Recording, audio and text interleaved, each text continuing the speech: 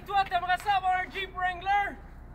Ben oui, mais ça tombe bien parce que chez Joliette Dodge, on a des coupons rabais additionnels en quantité limitée qu'on peut appliquer jusqu'au 28 février. Ça fait en sorte qu'un Jeep Wrangler sport comme ça, ça pourrait t'en revenir en location pendant deux ans à 33 par semaine avec un léger comptant. Tu veux savoir combien ça te reviendrait? Pas de comptant! C'est à 49 par semaine en location pour un Jeep Wrangler 2018. C'est complètement fou. C'est uniquement chez Joliette Dodge grâce à nos coupons rabais qu'on a en quantité limitée jusqu'au 28 février.